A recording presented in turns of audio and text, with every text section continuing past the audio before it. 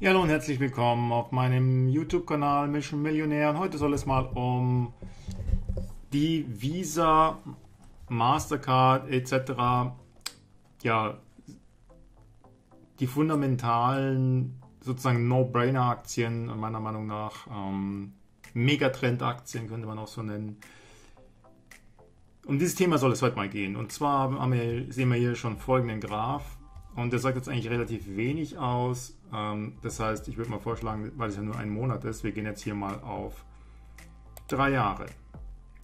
Und bei, schon beim Dreijahres-Chart sieht man ähm, ja, eine deutliche, einen ganz deutlichen Trend. Hier diesen Dip, der war tatsächlich im besagten Dezember, also diese, diese 20-prozentige Korrektur. Und hier sieht man schon im Tiefstand 121 und im November auf 145 und das sind tja ähm, in etwa ich muss sagen 15% Korrektur. Das heißt, solche Aktien, selbst wenn der Gesamtmarkt im Schnitt ähm, sagen wir mal 20% fällt, dann fallen solche Aktien meistens äh, etwas weniger sogar, weil sie eben ähm, so extrem stabil sind, ja, ähm, mit Burggraben, mit allem drum und dran, einfach No-Brainers. Und ähm, ich möchte jetzt noch mal kurz auf, auf fünf Jahre zurückgehen. Äh, und da sieht man einfach auch ganz deutlich hier der Trend ab äh, 2017 in Richtung ähm, bargeldloses Zahlen, denn davon profitiert natürlich die Visa Card auch massivst. Und hierzu habe ich hier auch gleichzeitig einen Artikel von, äh, was heißt Artikel, also ja, ein Artikel von der Statista.com, also dort will man einfach ganz äh, ja, gratis und kostenlos jeder Mensch, jeder Bürger sich da seine Statistiken ziehen kann. Und auch hier sehen wir seit 2012 einen stetigen Anstieg in der Nutzung von Kreditkarten. Wie soll es auch anders sein? Ja? Mm, und ähm, hier haben wir die Visa Card, ist es hier in dem Fall das Schwarze. Na, ich will jetzt nicht, dass das ist. Na gut, dann poppt es halt eben immer auf. Also hier das Schwarze, man sieht es. Und ähm, man kann also deutlich sehen, dass die Visa-Card im Vergleich zu einigen anderen jährlich kontinuierlich an Marktanteil gewonnen hat. Ja? Und, und dann dementsprechend dann Nutzungsgrad. Und das hat natürlich verschiedene ähm, ja, äh, Gründe, ähm, Konditionen, ähm, Zugänglichkeit, ja, in wie vielen abgeschiedenen Ländern ja, funktioniert das Ding dann auch tatsächlich. Ne? Äh, wer kennt das nicht? Er ist irgendwo in Timbuktu im Urlaub und plötzlich äh, geht das Ding nicht mehr oder was. Ja? Die Visa ist halt extremst international.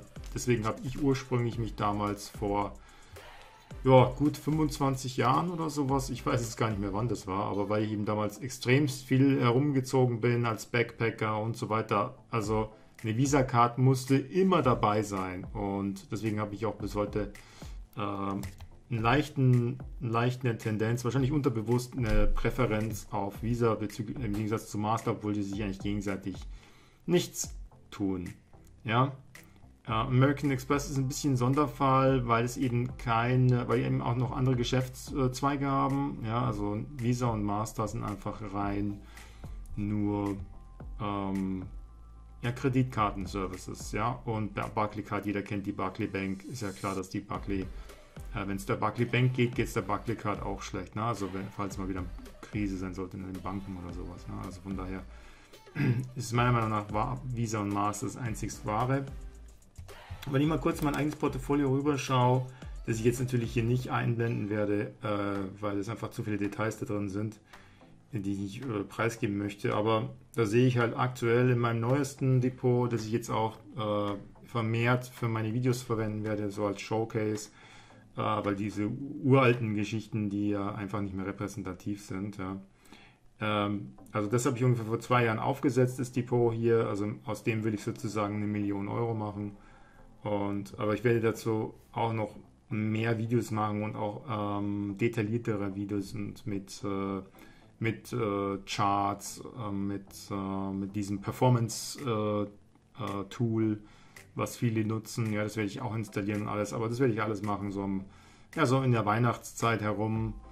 Und ähm, dann wird mein Ziel sein, eben daraus eine Million zu machen bis zum Jahr 2025, ne? also innerhalb von sieben Jahren und äh, all together. Und äh, ich kann euch verraten, ich bin äh, mittlerweile äh, zumindest schon mal ähm, sechsstellig, so knapp. Und das wird auf jeden Fall eine spannende Geschichte. Ja, ähm, hier, da bin ich jetzt, halt, was ich eigentlich sagen wollte, ähm, Visa, Visa, Visa, Visa, 16,73% im Plus. Äh, und also da habe ich quasi der, Einst der Einkaufspreis dort ist 100, 157 Dollar und momentan sind wir bei 180 Dollar bei Visa. Und es ist wirklich eine der Aktien, wo ich sagen muss, ähm, egal was passiert, ja, also wirklich egal was passiert. Also ich könnte mit dieser Aktie immer gut schlafen. Das ist meine persönliche, ähm, mein persönliches Mindset zu dieser, zu dieser Art von Aktie, weil ähm, tja, selbst, ich weiß nicht, es ist einfach ähm,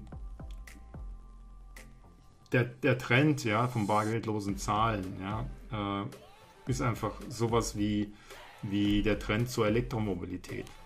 Ja, ob man es mag oder nicht, er ist unaufhaltsam, ja, unaufhaltbar und das ist einfach eine Grundregel auch an der Börse, dass man sich nicht äh, nicht persönliche äh, Präferenzen äh, sich in den Weg stellen lässt bei der, bei der Entscheidung des, des Investments. Ne? Also ähm, was man mag und nicht mag. Wenn man natürlich äh, eine Aktie gefunden hat, ähm, die man auch besonders gerne mag, ist es umso besser, denn dann hält man auch, ähm, auch Durststrecken, wenn es mal ein bisschen runtergeht, besser durch. Aber andersrum, äh, nur eine Aktie zu kaufen, nur weil man sie mag, ist natürlich gr grundverkehrt. Ne? Also es muss natürlich fundamental alles stimmen, äh, charttechnisch und, und alle anderen Faktoren müssen erstmal stimmen. Und dann, äh, also quasi Statistiken und so weiter, liegt die Aktie im, Mar im, im Markttrend und so weiter. Und wenn das alles stimmt und man dann auch noch die Aktie oder was es produziert, äh, die Firma produziert oder die Dienstleistung, das alles, wenn man sich dann damit auch noch identifizieren kann, ist es umso besser. Ne? Also, ähm, ja, das soll es erstmal soweit gewesen sein. Was wollte ich jetzt noch eigentlich sagen ähm, zum Thema ja, Visa? Ähm, irgendwas äh, fällt mir gerade nicht ein. Ähm, irgendwas wollte ich denn noch sagen.